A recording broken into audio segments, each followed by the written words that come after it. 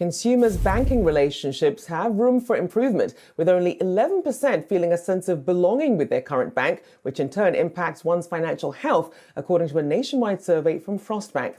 Well, here with more on how a sense of belonging plays a role in our overall financial health is Frost Bank CEO Phil Green. Phil, thank you for joining me this morning. I guess I want to take a step back first, just so that people can understand the parameters here. When we talk about financial health, what framework did you use when you were conducting this survey? Rachelle, thanks for having me, first of all. But uh, what we used was some information from the CFPB, where they have used a, a, an index on what does financial health mean. And basically, I would describe it as: Are you over leveraged? Do you have a, a, savings cushion?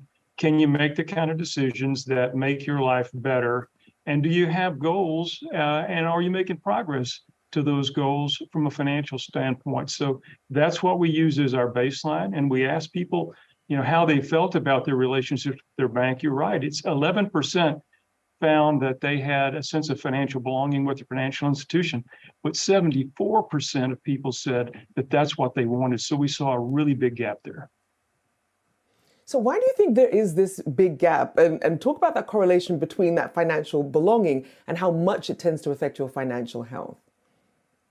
Well, we found that if you did feel like you had financial belonging with your financial institution, you were 160% more likely to have better financial health.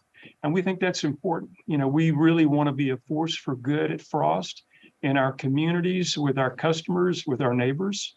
And uh, we think that's significant. And so we did this research back in the summer. It was with uh, broad-based, all age groups uh, using census data. And what we found out was that uh, there's a staggering gap, as we just discussed. And what we wanted to do to try to help make things better is we wanted to get this research out, not just have it for ourselves and for our marketing strategies, but to put that out to give others a sense of what it takes to create financial belonging with their customers and with the community because we have seen a growth in a lot of online banks. I, I, know that when I popped into a Capital One and I was trying to get a card, they said you have to do it online. So there is there is also some of this disconnect from what used to be the traditional banking relationship. But talk about some of the indicators then of financial belonging, because I know you listed trust, knowledge, access, and a hybrid experience. Now, what does that mean from the bank's perspective versus say the consumer's perspective?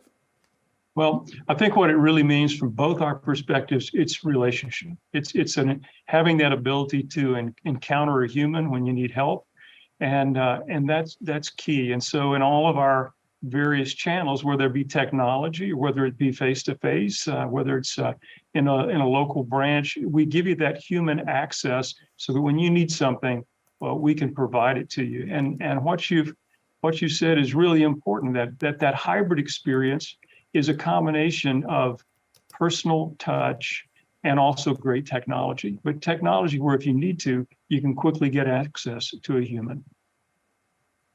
Now it's interesting because when we look at the behavior, people saying that they want that relationship but not actually taking action on it. Yahoo Finance did a poll to ask people, you know, if they thought, even if they thought it was going to help their financial health, would they be willing to switch banks? And 44.8% said they would not were, not willing to switch banks. So then how do you change that narrative? Then how do you how do you encourage people to want to then build a better relationship with their bank if they're saying they want to for the most part, but then they don't actually do it in practice?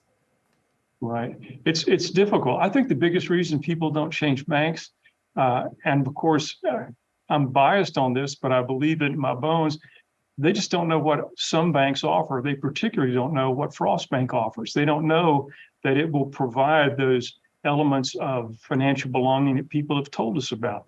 Trust, you know, how how am I treated? Do I give you overdraft grace? Do I give you early payday? Availability? What about advice and, and knowledge? Most people feel that knowledge is a big inhibitor for them feeling belonging. And do they have someone that'll come alongside and help them through that? We already talked about the hybrid experience and what we provide there. And so uh, those are those are those things which we've got to provide, but most people don't really know that it's available to them.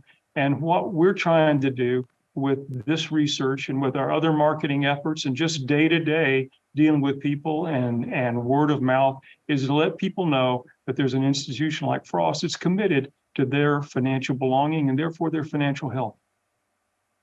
And I know it can be a lot for people to then have to sort of switch all their accounts and update their direct deposits and debits. I know for a lot of people, sometimes it's just like, it does seem like a lot of hassle, but uh, perhaps if they see some of the benefits, that would encourage them.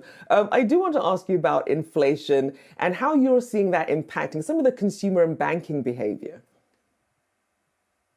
Well, inflation, it was interesting. It's it's been sticky, stickier, I know, than the Fed wants. I think particularly in the services area, they've seen that. And I think that's because wages have been really uh, moving up and services is very uh, sensitive to that. So there's no doubt inflation is still with us. I think it's going to mean the Fed's going to have to be higher for longer. And I think one of the reasons that we're, we're getting that inflation, we're and we're you're, you're seeing the the uh, consumer uh, spending still uh, is up, and uh, and and consumers are still pretty financially healthy. You know, they're not as strong as they were back just coming out of the pandemic when there's so much liquidity, but there's still a lot of liquidity in households' balance sheets, and I think they're still spending. Indeed, certainly saw that from the retail sales as well. Frost Bank CEO Phil Green, thank you for joining me this morning.